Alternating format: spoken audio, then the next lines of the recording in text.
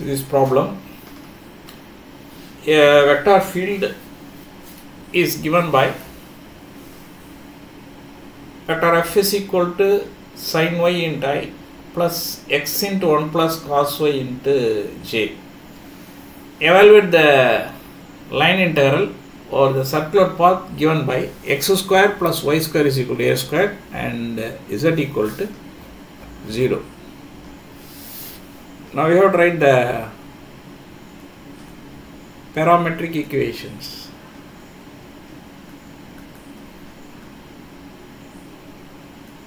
Parametric equations are x equal to a cos t then y equal to a sin t and z equal to 0 already they have given it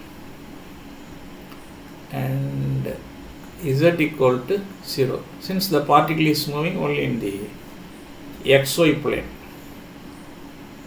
if x equal to a cos t x square is equal to a square cos square t then y square is equal to a square sin square t.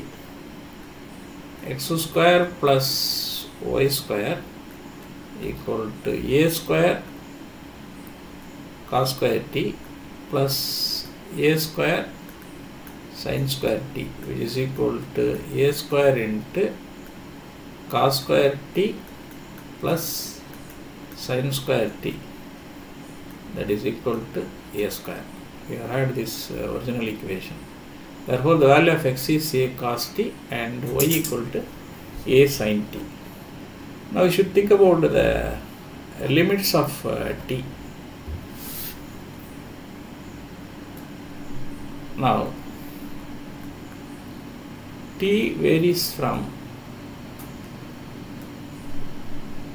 0 to 2 pi. If t equal to 0, then x equal to a cos of 0 which is equal to a. Then y equal to a sine of 0 which is equal to 0. Now x square plus y square is equal to a square because x equal to x square equal to a square y equal to 0 y square is also 0 therefore x square plus y square is equal to a square therefore the lower limit of t is 0 and the upper limit of t is 2 pi. If t equal to 2 pi x equal to a cos 2 pi. Cos 2 pi equal to minus 1 so this is equal to minus a. Then y equal to a sin 2 pi because y equal to a sin t instead of t we have to put 2 pi. Sin 2 pi is 0 so y equal to 0 now x square plus y square equal to minus a whole square plus 0 which is equal to a square. Therefore the lower limit of t equal to 0 and the upper limit of t is 2 pi.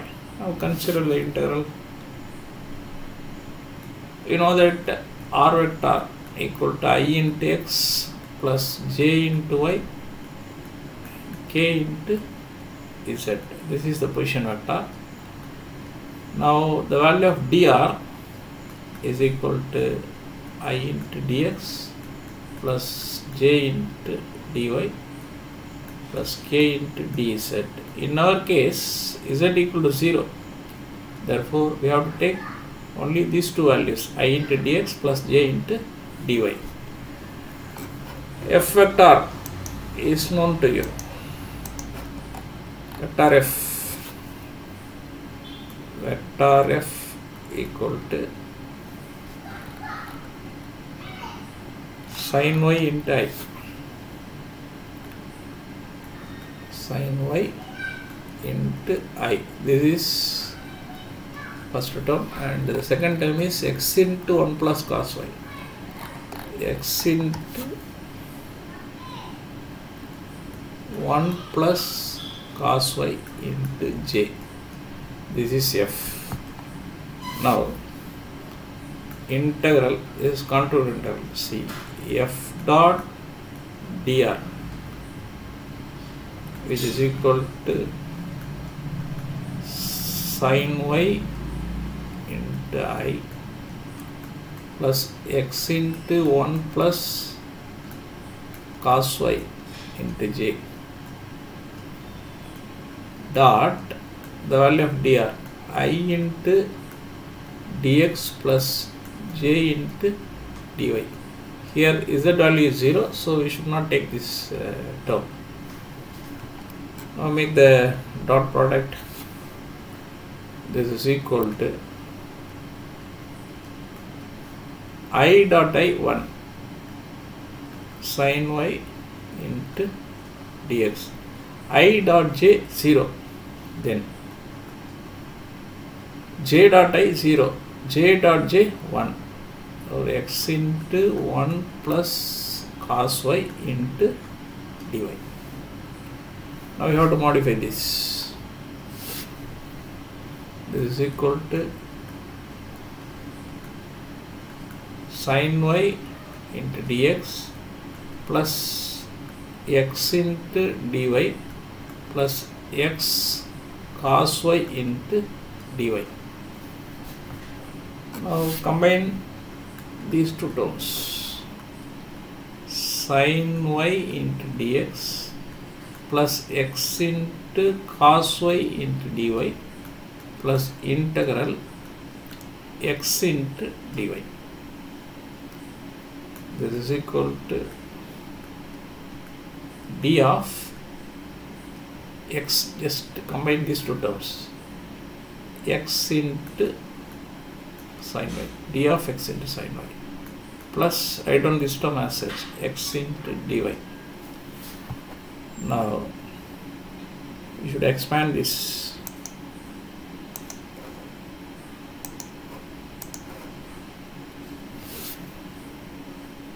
this d of x into sin y equal to keep x as a constant. If sin y is a variable d of sin y is cos y into dy plus keep this sin y as a constant. Sin y if you differentiate x you can get dx. See here sin y dx.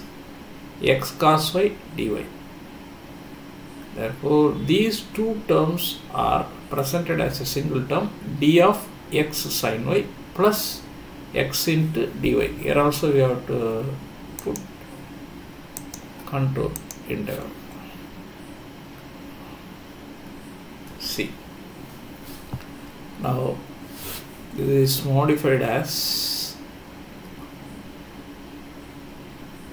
d of put the value of x we know that x equal to a cos t y equal to a sin t so instead of x we have to put a cos t sin of what's the value of y a sin t plus integral the value of x a cos t then dy. dy equal to a cos t into dt. Here a cos t into dt. Now come to our limits. Lower limit of t is 0 upper limit of t is 2 pi. Here also we have to put 0 to 2 pi. Now this integral is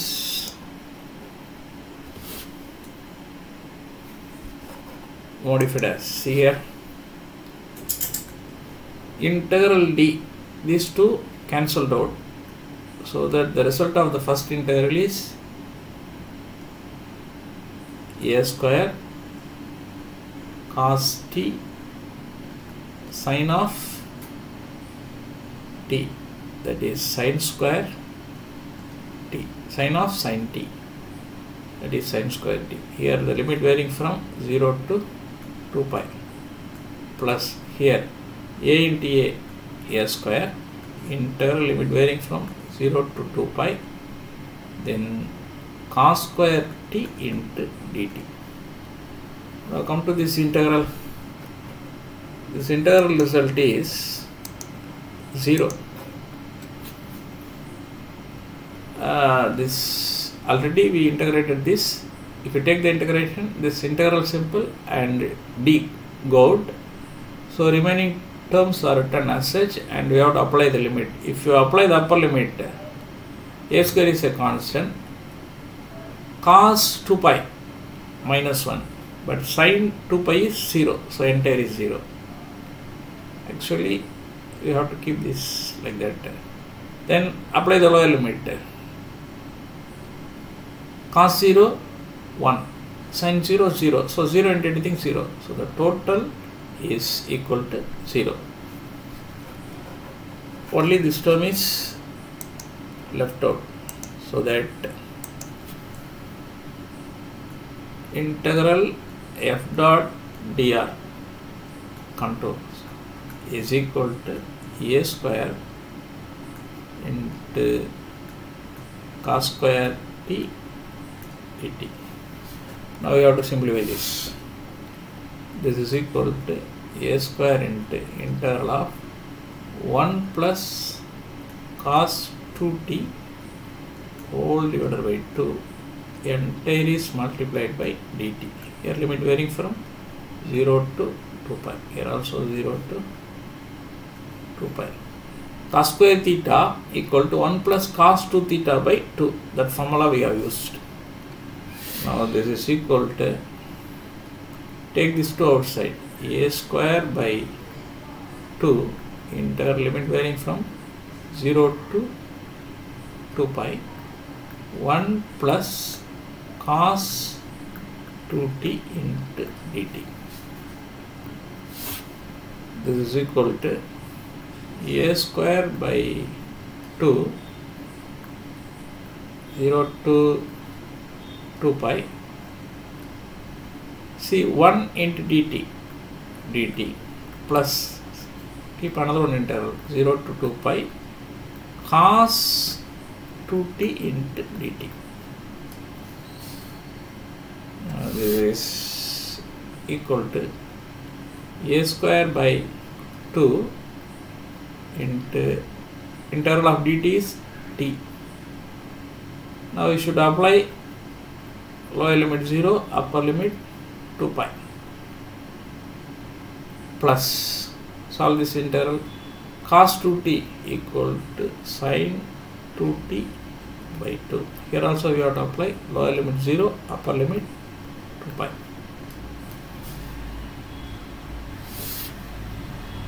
see this is equal to a square by 2 upper limit is 2 pi. Therefore 2 pi.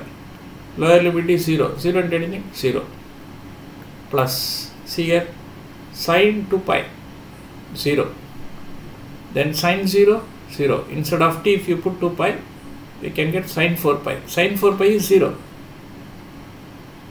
then if you apply the lower limit t equal to 0 sine 0 0 so there is no meaning for this uh, integral result second term is vanished is equal to pi into a square. So the integral of f dot dr for the given contour is equal to pi a square.